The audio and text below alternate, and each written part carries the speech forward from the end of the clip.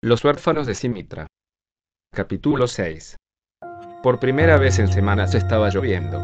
La plaza del mercado de Timisa, una vez una gran plaza vacía, ahora era una aldea de lona, más de 50 tiendas de campaña se había levantado apresuradamente, grandes masas oscuras fluyendo con cascadas de agua. Era como si la lluvia solo hubiera esperado el desastre antes de llegar para acabar con el infeliz país.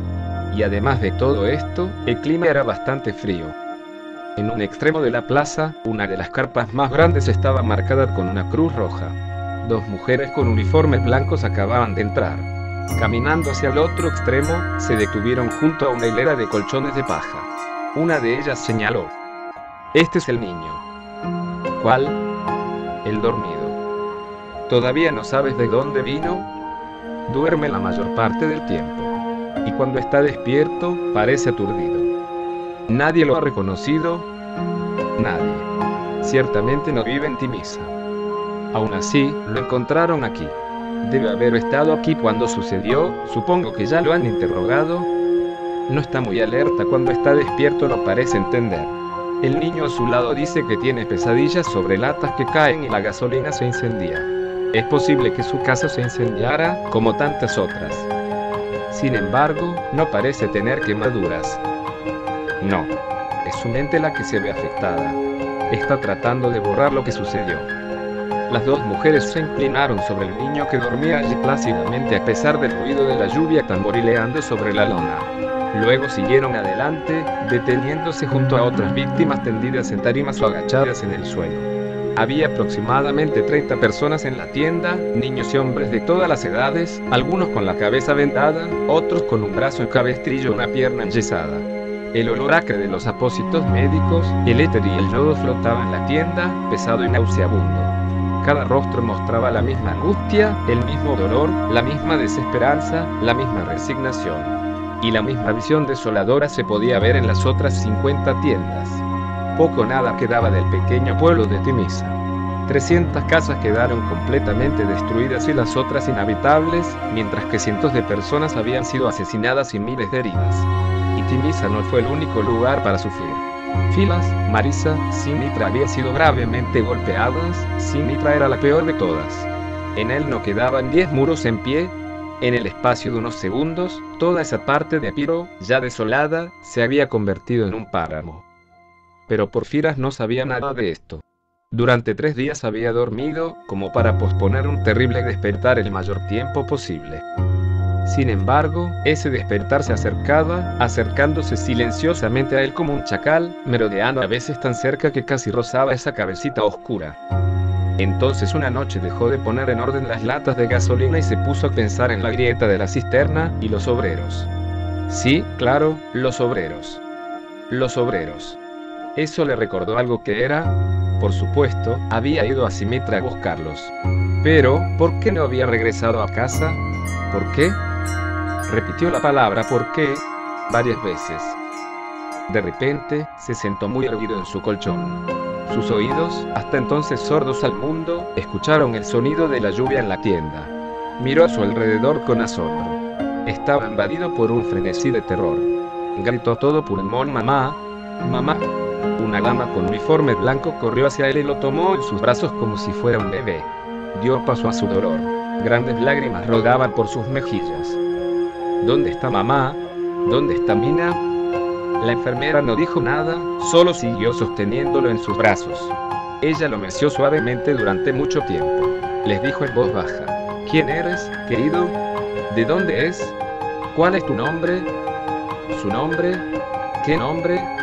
No podía recordar. ¿Alguna vez tuvo un nombre? Ah, sí, creyó haber oído a su madre llamarlo mi pequeño Porfiras. Porfiras, así era. Porfiras Pátagos. Suspiró, mirando el rostro inclinado sobre él.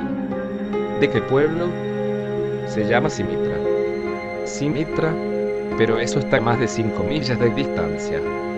Vivo en lo alto de la larga pendiente de cedro. Allí hay un garaje, la gran estación de servicio Pátagos, debes saberlo.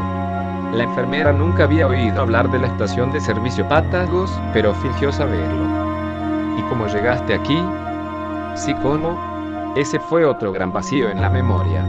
Pensó con todas sus fuerzas, pero no sirvió de nada. Trata de recordar. Te encontraron aquí en Timisa. ¿Por qué viniste aquí? La enfermera trató de ayudarlo a recordar. Entonces, de repente, se cerró la brecha. Una vez más contempló la terrible vista de su casa en ruinas, volvió a ver su vida presa del pánico por los campos desolados, tropezando y cayendo hasta caer exhausto frente a las devastadas casas periféricas de un extraño pueblo. Gritó de nuevo, Mamá, mamá. Fue horrible escucharlo. El sueño misericordioso le había ocultado la verdad durante tres días, pero ahora no había escapatoria.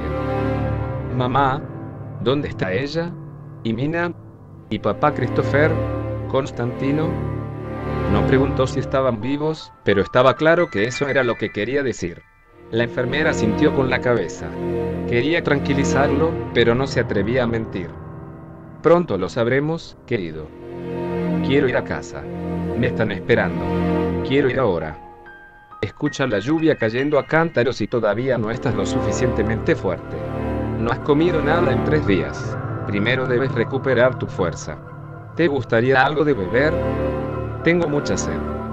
La dama del uniforme blanco se marchó y regresó casi de inmediato con un jarro de leche. Por pilas lo probó e hizo una mueca. Me temo, querido, que no es leche de cabra. Su sed le hizo superar su disgusto. Vació la taza en largos tragos, como si fuera medicina. ¿Puedo tener más? Tengo mucha sed. Poco a poco su cabeza se aclaró.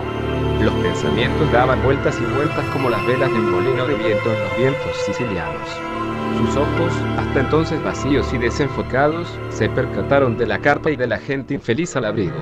Había un anciano sentado con la cabeza entre las manos, tan quieto y silencioso como si lo hubieran convertido en piedra. Más allá de él, un niño pequeño abrazaba un conejo de peluche. En algún lugar un niño estaba llorando. Porfiras sabía por qué y él también se echó a llorar. De todos modos, tuvo que pasar una noche entera entre estos gemidos y lágrimas antes de saber la verdad. La enfermera había prometido volver lo antes posible. La terrible noche de espera parecía interminable, porque ya no podía dormir. Mamá, papá, Mina, Constantino, ¿qué había sido de ellos? La luz del amanecer se filtraba en la tienda cuando por fin reapareció la dama del uniforme blanco. Ya no sonreía como el día anterior y parecía preocupada. El chico se arrojó sobre ella. Mamá. Ay, dímelo rápido. Rápidamente. La enfermera no habló. Ella apartó la cara. Entonces ella dijo, un camión sale para Simitra con un cargamento de colchones. ¿Te llevará contigo hasta lo suficientemente bien como para ir? Afuera, la lluvia había cesado, pero grandes nubes grises de luto navegaban por el hermoso cielo de Grecia. Porfirio admiró las tiendas de lona colocadas desordenadamente en la plaza pública y luego las paredes rotas y derrumbadas de la ciudad más allá. El camión esperaba, abarrotado de una enorme pila de colchones. La enfermera susurró algunas palabras al oído del conductor. A Porfiras le hubiera gustado saber lo que decía, pero no trató de escuchar. El conductor llevó al niño en brazos al asiento junto al suyo y el pesado camión se puso en marcha. El corazón de Porfiras hundió. Quería hablar, hacer preguntas, pero su boca no se abría. Le tenía miedo a la verdad. El viaje parecía interminable, pero por fin vio Simitra en un cartel. No puede ser verdad. El pueblo que había visto tantas veces antes no era reconocible. Empezó a temblar de nuevo. Un giro brusco a la derecha, otro a la izquierda, y la camioneta se detuvo en la plaza pública, donde las tiendas oscuras se alzaban contra el cielo, tal como lo habían hecho en Timisa. Quédate aquí y espera que venga alguien, dijo el conductor, bajando del taxi. Porfiras obedeció, pero sus ojos no abandonaron al hombre mientras se alejaba rápidamente. ¿A dónde iba el conductor? El tiempo se detuvo. ¿Por qué no podía bajar? Por fin regresó el hombre, junto con una señora vestida de blanco, como la de Timisa.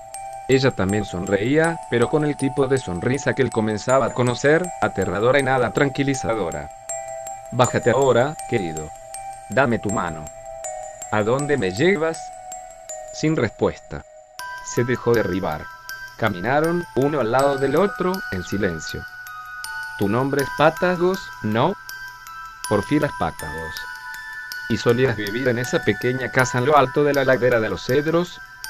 Él asintió, ¿tienes una hermana que se llama Marina? Una hermana, y mi hermano Constantino y mamá y papá Christopher. La enfermera recibió esta avalancha de nombres en silencio. Caminaban despacio a través de las tiendas, demasiado despacio. La lentitud era una mala señal. Porfiras sabía que las buenas noticias viajan rápido. De vez en cuando la enfermera suspiraba. Luego le puso la mano en la cabeza. Ya casi eres mayor, ¿no, Porfiras? Y eres valiente. La miró con tristeza, e incluso con lástima, sabiendo que estaba atormentada por lo que no se atrevía a decirle. Porque ahora lo entendía. Dos años antes, su madre lo había llevado a un lado exactamente de la misma manera, para contarle de la muerte de su otra hermana pequeña, Mirta, por la mordedura de una serpiente. Había llegado a una gran carpa circular, que se parecía a la de los soldados que habían estado maniobrando en esos lugares unas semanas antes. Porfiras dijo bruscamente la enfermera, apretando ambas manos. Debo decirte la verdad, una verdad muy triste. No volverás a ver a tu madre, ni a tu padre, ni a tu hermano mayor, pero a tu hermana pequeña. Cada uno de esos nombres le había atravesado el corazón como si alguien le hubiera atravesado con un cuchillo, pero al final levantó la cabeza. Mina. Mina. Ella está viva. La enfermera señaló la tienda. Está ahí, te resultará difícil reconocerla. Su cabeza está toda cubierta de vendajes. Estaba herida, pero no de gravedad. Pronto estará bien. Oh, verla. La enfermera levantó la solapa. Comenzó a temblar por todas partes. Sus ojos escrutaron ansiosamente la penumbra que se extendía dentro de la tienda. Porfiras. Porfiras. La vocecita familiar lo hizo saltar y se dio la vuelta. Oh no, nunca habría reconocido a su hermana, tan pálida bajo los vendajes que se tragaban la mayor parte de su rostro. Pero su voz no podía equivocarse. Corrió hacia ella, la abrazó y ambos rompieron a llorar.